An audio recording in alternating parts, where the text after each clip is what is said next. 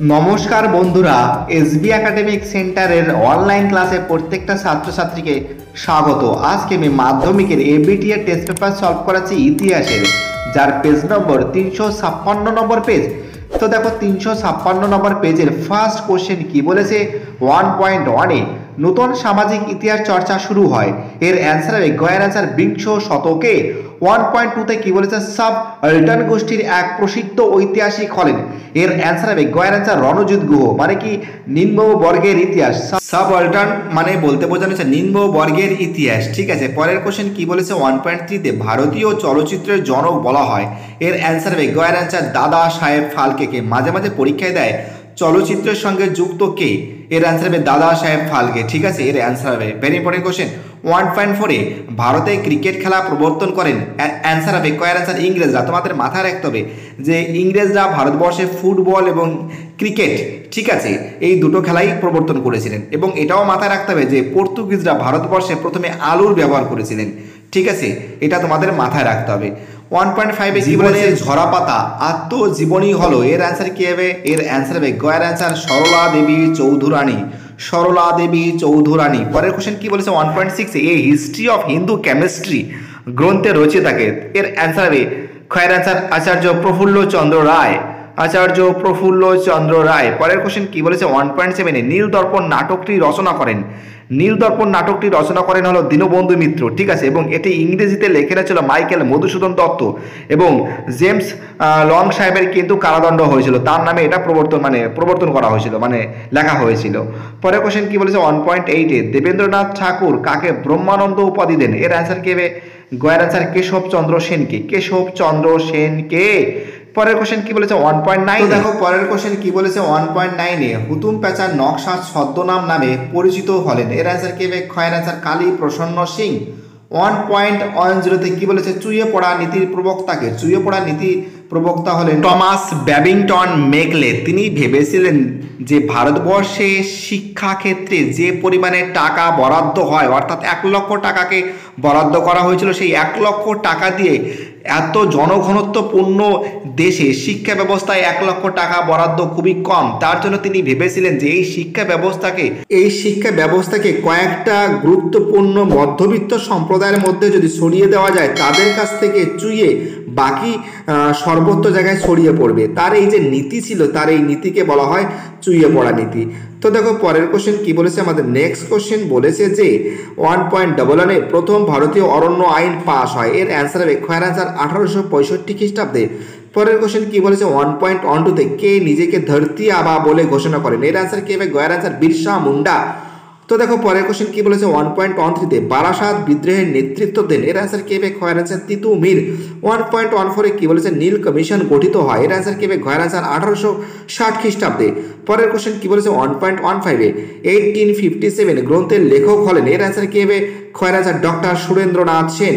One point one সিক্সে কী বলেছে? উনিশ শতকে সভা সমিতির যুগ বলেছেন। এর অ্যান্সার কী হবে? খয়ের অ্যান্সার ডক্টর অনিল শীল। পরের কোশ্চেন কি বলেছে? ওয়ান পয়েন্ট ওয়ান সেভেনে ভারত সভা প্রতিষ্ঠা হয়। এর অ্যান্সার কি হবে? খয়ের অ্যান্সার আঠারোশো ছিয়াত্তর খ্রিস্টাব্দে। এই ভারত সভা কিন্তু খুবই গুরুত্বপূর্ণ কোশ্চেন তোমাদের এটা মাথায় রাখতে হবে। এই ভারত সভা প্রথম অনুষ্ঠিত হয়েছিল কলকাতার এলবার্ট হলে। কলকাতার এলবার্ট হলে সুরেন্দ্রনাথ বন্দ্যোপাধ্যায়ের নেতৃত্বে আঠারোশো ছিয়াত্তর খ্রিস্টাব্দে কলকাতার এলবার্ট হলে কিন্তু এই ভারত সভা প্রতিষ্ঠিত হয়েছিল। পরের কোশ্চেন কি বলেছে? ওয়ান পয়েন্ট ওয়ান এইটে ভারতের প্রথম সাপ্তাহিক পত্রিকার নাম কি? এর অ্যান্সার কি হবে? গয়ের অ্যান্সার সমাচার দর্পণ। ওয়ান পয়েন্ট ওয়ান নাইনে কি বলেছে? কেস্কোগ্রাফ যন্ত্রটি আবিষ্কারক হলেন এর অ্যান্সার কি হবে? গয়ের answer Jagadish Chandra Bose. One point two জিরোতে কি বলেছে? আনন্দ মঠ উপন্যাসে আছে। এর অ্যান্সার কি আছে? এর অ্যান্সার হবে গয়ের অ্যান্সার সন্ন্যাসী ও ফকরি বিদ্রোহের কথা। তোমরা তো জানো যে আনন্দমঠ উপন্যাস হলো ভারতবর্ষের অন্যতম একটা গীতা। তাই তো আনন্দমঠ উপন্যাসে তিনি কিন্তু দেখিয়েছিলেন যে সন্ন্যাসী এবং ফরিকির বিদ্রোহের কথা। তো দেখো পরের কোশ্চেন কি বলেছে? বিভাগ খ যে কোনো ষোলোটি প্রশ্নের উত্তর দাও। তো দেখো টু পয়েন্ট অনেক কি বলেছে? একটি বাক্যে উত্তর দাও। টু পয়েন্ট ওয়ান অনেক কি বলেছে? রবীন্দ্রনাথের আত্মজীবনীর নাম কি? রবীন্দ্রনাথের আত্মজীবনীর নাম হলো জীবন স্মৃতি জীবন স্মৃতি। পরের কোশ্চেন কি বলেছে? বন্দে মাতরম পত্রিকার সম্পাদককে বন্দে মাতরম পত্রিকার সম্পাদকের অ্যান্সার হবে Aurobindo Ghosh Aurobindo Ghosh. Two point one থ্রিতে কী বলেছে? হিন্দু বালিকা বিদ্যালয় বর্তমান কি নামে পরিচিত? এর অ্যান্সার হবে বেথুন স্কুল। বেথুন, ঠিক আছে? টু পয়েন্ট ওয়ান ফোরে কী বলেছে? দ্য সাইলেন্ট স্প্রিং কার লেখা? এর অ্যান্সার হবে রাসেল কারসন। Russell Carson. পরের কোশ্চেন কি বলেছে? উপবিভাগ টু পয়েন্ট টুতে কি বলেছে? ঠিক বা ভুল নির্ণয় করো।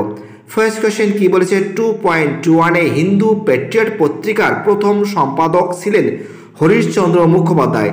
এটা ভুল আছে, কারণ হিন্দু পেট্রিয়ট পত্রিকার সম্পাদক ছিলেন Girishchandra Ghosh. Girishchandra Ghosh two point two টুতে কী বলেছে? বর্তমান ভারত সুভাষচন্দ্র বসুর লেখা।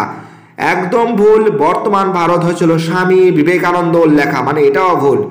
টু পয়েন্ট টু থ্রিতে কী বলেছে? বিধবা বিবাহ আইন পাশ হয় আঠারোশো ছাপ্পান্ন খ্রিস্টাব্দে। এটা ঠিক আছে। তোমরা তো জানো যে বিধবা বিবাহ আইন পাশ হয় আঠারোশো ছাপ্পান্ন খ্রিস্টাব্দে আমাদের ঈশ্বরচন্দ্র বিদ্যাসাগর। তাই তো? পরের কোশ্চেন কী বলেছে? তিনি এটা করেছিলেন।